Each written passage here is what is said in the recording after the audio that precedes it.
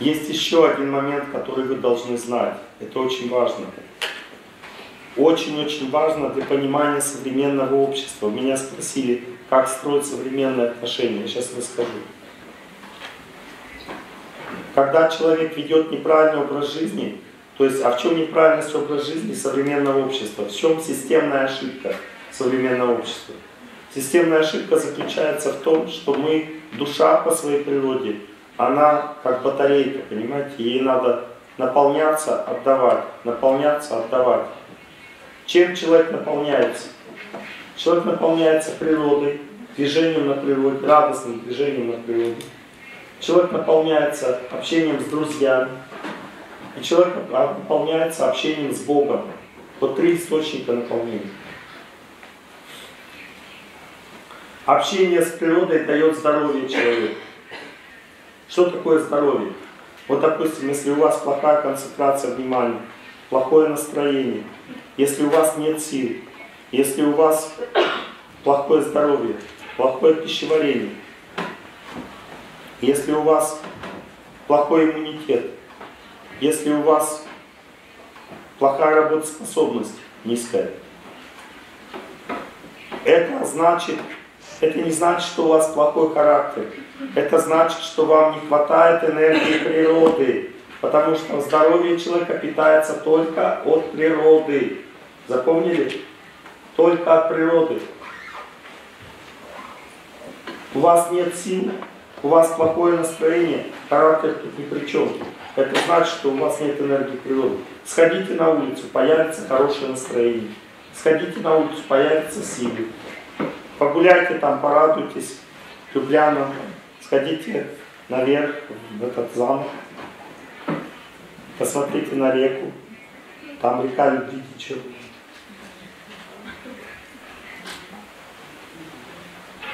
Есть такая песня на русском языке.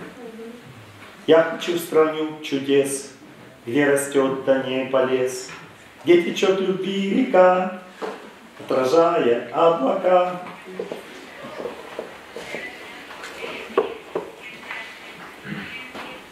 Я сюда приехал, понял, что здесь страна чудес, здесь высокие горы красивые, и течет любви река, отражая облака. Так и называется. Любите свою природу, любите свою родину, свой край.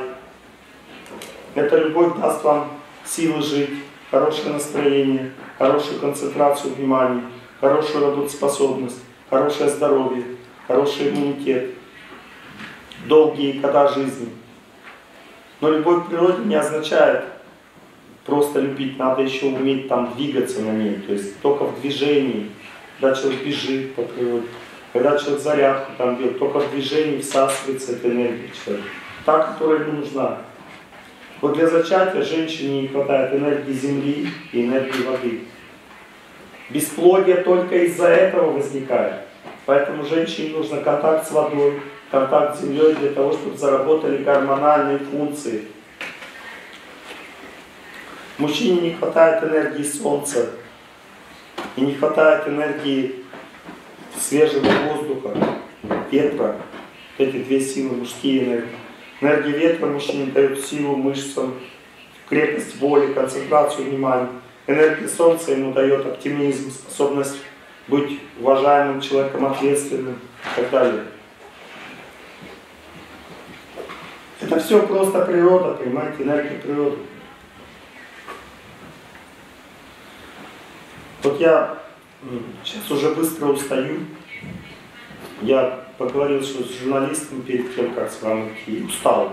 Я пошел к вам просто поднялся на замок, вот посмотрел. Я почувствовал энергию природы, горы, у меня появились силы читать лекцию. Так устроен человек, он как батарейка работает. Теперь слушайте еще более сложную вещь, которую вы должны знать. Если вам не хватает возможности выйти замуж, если вы не можете устроиться на работу, если у вас не сильно высокое положение в обществе, если у вас не ладится в отношениях с людьми, то это значит, что у вас не хватает энергии друзей.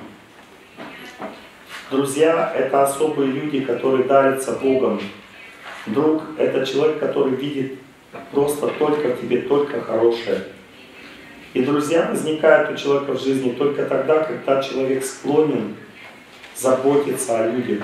Вот человек заботится, заботится о людях, делает для них что-то доброе. У нас есть одна песня э, на русском. Э, Помог приятелю устроиться на работу, отвел жену в театр вечером в субботу, под домом покормил бездомных собак, улыбнулся прохожему на улице просто так. Э, объяснил человеку, туристу, как найти Москву реку и так далее. И там припев такой, а все потому, что человек хороший. Ну то есть, почему он человек хороший? Потому что в нем есть сила, сила влиять на людей. Эта сила берется от людской благодарности. Поэтому в древней культуре люди приглашали постоянно друзей в гости, как говорят, восточные культуры. Ну, то есть друзей в гости кормили их, поили, а, заботились о них. Это нужно для того, чтобы наполниться вот этой силой, которая приносит удачу в отношениях с людьми.